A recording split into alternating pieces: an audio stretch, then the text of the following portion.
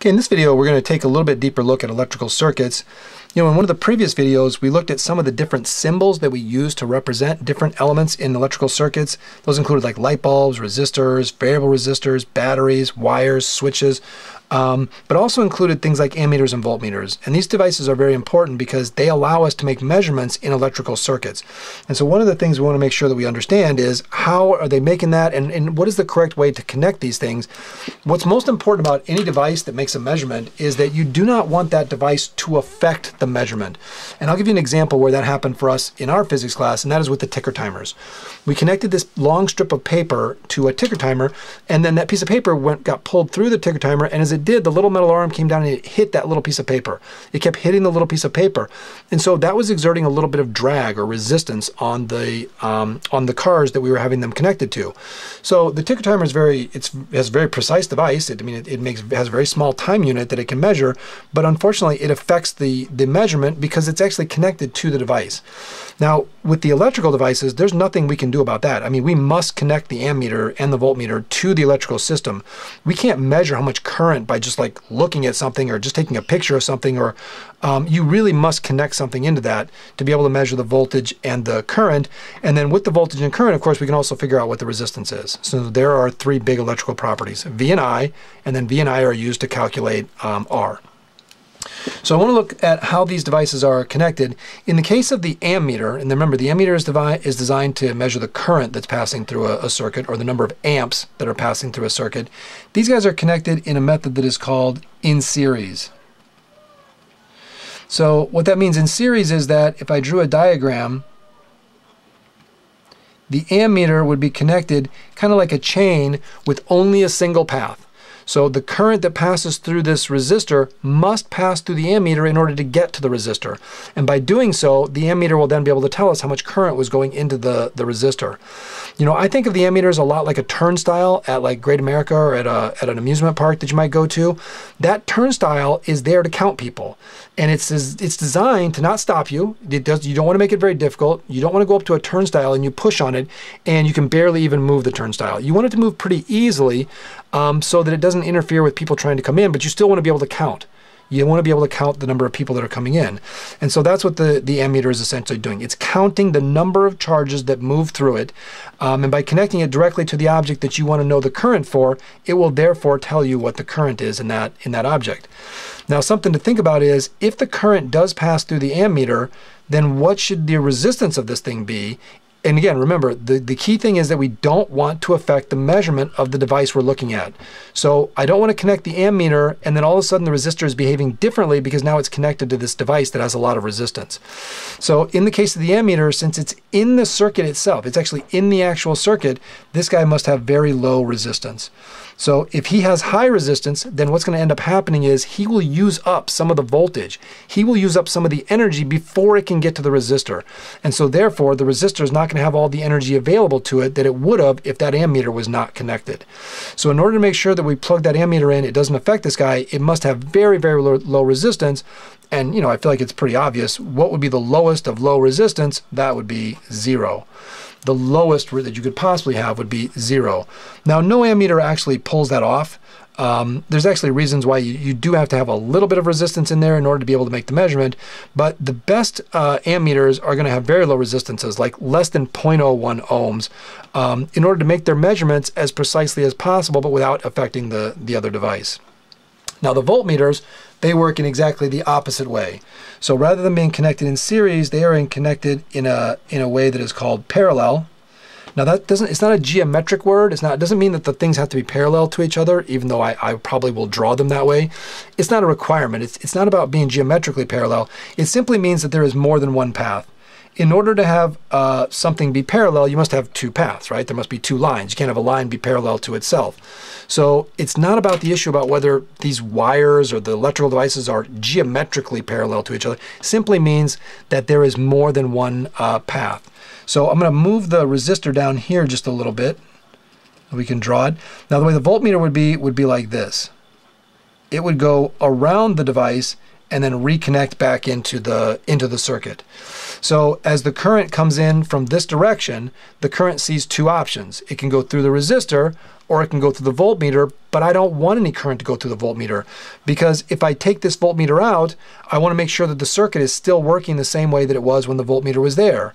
So if I allow current to be diverted and to travel up and through the voltmeter, well, then that's going to cause problems because it's not going to give me the right measurement uh, on this circuit, or it's not that it won't give me the right measurement. It will give me the right measurement, but this won't be the same circuit that it was before the voltmeter was connected.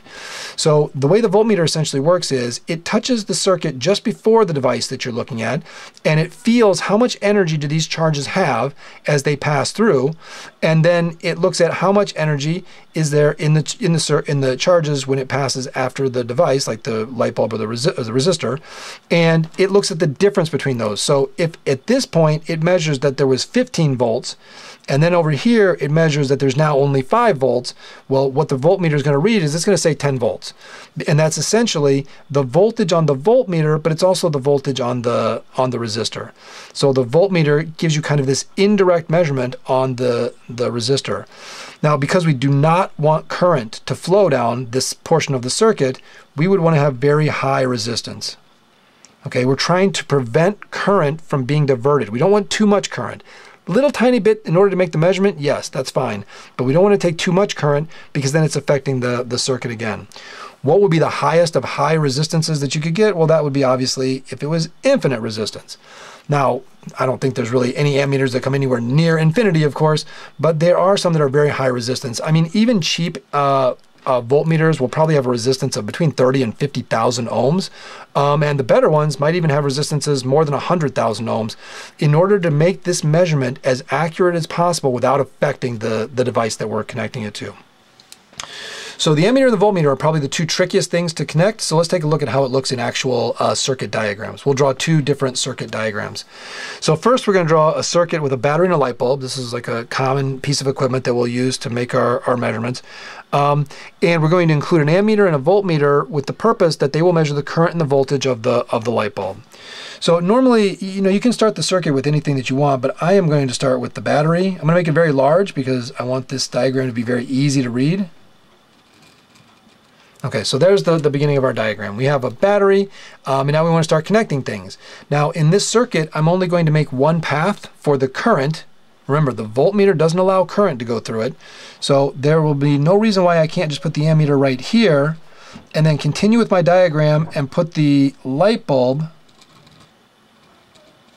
down here. Okay, so what I have drawn for you right now is a working circuit. This circuit will work. That ammeter will read current. It will tell you that there is some current passing through the light bulb. You may not see the light bulb light up because you have to get a certain amount of current before the bulb will actually light up, but you will be able to tell that there is something happening in the circuit because you'll see the ammeter is telling you that there is some amount of current that's, that is flowing in there.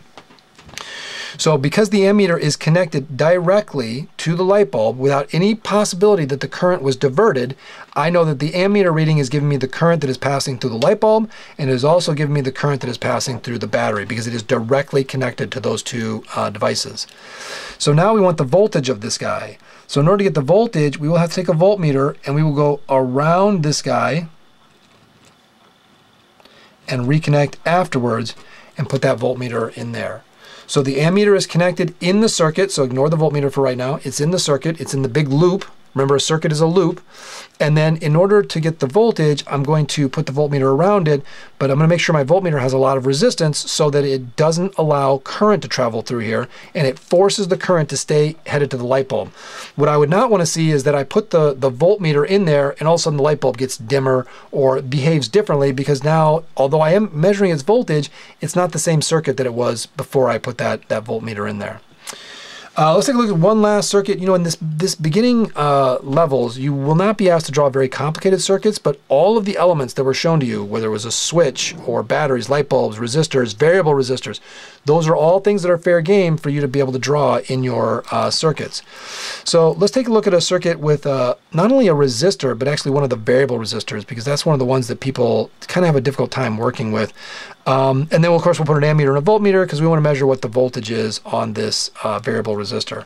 So as I said, I prefer to start by drawing the battery, but it's it's not a requirement. You don't have to actually draw the battery. If you want to draw multiple long and short lines, it's fine as long as you just make sure you have equal numbers of them. Because just to remind you, each of the two long and short lines is supposed to represent the positive and negative ends of the of the cells that are, are connected in there. Um, so let's put the ammeter in there.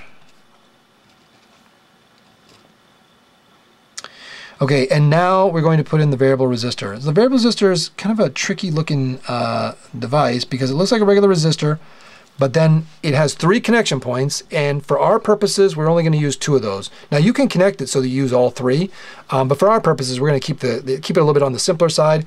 We're only going to make two connections, so in all variable resistors, you will see that they have a um, they have a connector on both ends. They have two and then there's also a connector in the middle. And I showed that when I went over the circuit diagrams for the variable resistor. I, I actually showed a physical uh, version of it. So it has one, two, three connections, and we will always connect the middle one and the one on the end. Now I could have connected on either end here, but I want to connect to this this portion. So now what we need is the voltage in this variable resistor. So I'm going to connect the voltmeter before it goes into the variable resistor and realize the current is coming in here and then when it gets to this middle connector, it leaves the variable resistor. So there's no current flowing through this part of the of the resistor. This part of the resistor, there's nothing happening at all. There's no current, there's no voltage, there's nothing. Nothing is happening in there. So I'm going to connect the uh, voltmeter to the point before the variable resistor, and then I want to connect it to a point right after it leaves the variable resistor.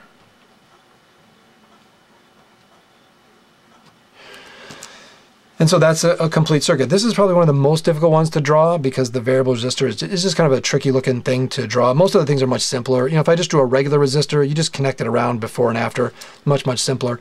So these are kind of things at level two that you're going to be likely to see that you not only recognize all of the symbols, that you have memorized all those symbols, symbols, but also that you can then start to put them together and to construct some simple circuits, and then also be able to read circuits because we're going to be doing uh, quite a few labs, and we want to make sure that if I if I give you you a circuit diagram, you can look at that diagram and you can construct this thing. You can get the battery and connect it in here. You can get the ammeter and put it in here. You can get the, the light bulb connected correctly. You can get the thing working so that it's functioning correctly. And then you can give me both the voltage and the current because again, with the voltage and the current, I will be able to get the resistance in that. I will be able to get the power, the, the current, and the voltage. These are the things that lead us to all of the other properties, the, the resistance, the energy, the power. All those things will come once we make those two uh, measurements.